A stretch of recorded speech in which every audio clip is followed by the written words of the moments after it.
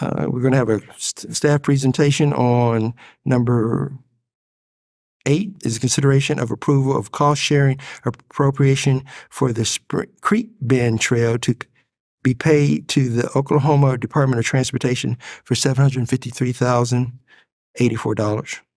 I want to talk to you a little bit about this Creek Bend Trail project.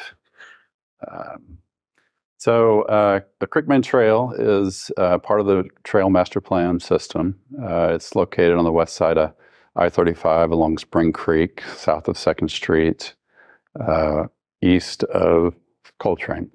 Um, uh, let's see, design of this project started in 2014. Um, like to recognize uh, Jan Fees and our planning department have been our champion of this trail since 2014. It's been a long time coming. Um, 2015, we had a community connections meeting. Uh, 2017, we had an agreement with uh, Resolution to uh, partner with ODOT on the TAP program grant.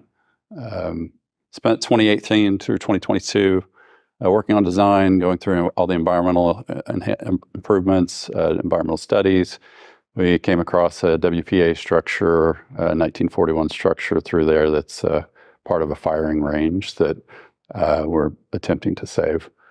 Um, we uh, got the funding agreement approved through ODOT 2022. In May of 2022, um, we had uh, had three or actually four different projects kind of coming together in this in this basin. So we wanted to acquire all the property together uh, as one. So we began 20, May 2022 uh, putting out offers to all the property owners and contacting them. And um, so far, we've we've made uh, 11 parcel purchases out of. We have three remaining that we need to work on. Um, January 2023. So with the ODOT agreement, uh, we had a time frame to spend the $600,000 that they were granting us. Um, so at that time, we split the project into two different projects. Um, we had a portion of the alignment that we were still working out, still working on, needed, needed some adjustments. Uh, this enables us to go ahead and move forward with the ODOT share uh, uh, funding portion of the project and move forward and get that money encumbered and spent. Um, they plan on advertising November 2023 for this. So um, so the agreement that's in place, um, that's our share is the seven hundred eighty thousand dollars. Um, so the phase one is the red portions that are shown. Um, basically, each end of the project.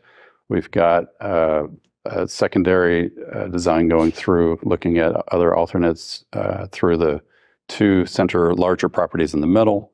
Uh, we're working with those property owners, uh, at least one of the major property owners through there, um, looking at different types of developments that they may be doing with their property and working with them. Um, so the first portion of the project will just be the red portion.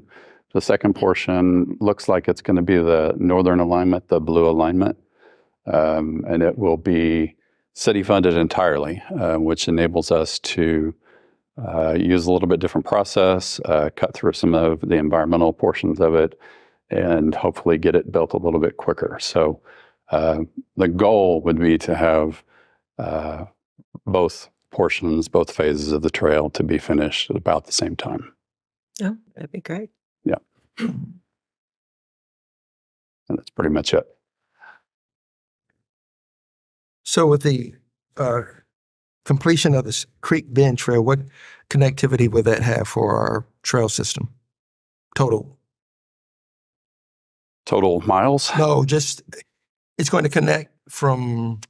Yeah, so it, it's going to be connecting in at Coltrane um, in an area that we're looking at a possible future trail connection uh, to Hafer Park. And then on the east side, it will connect in with the Spring Creek Trail at Arcadia. Correct. Very good. Thank you.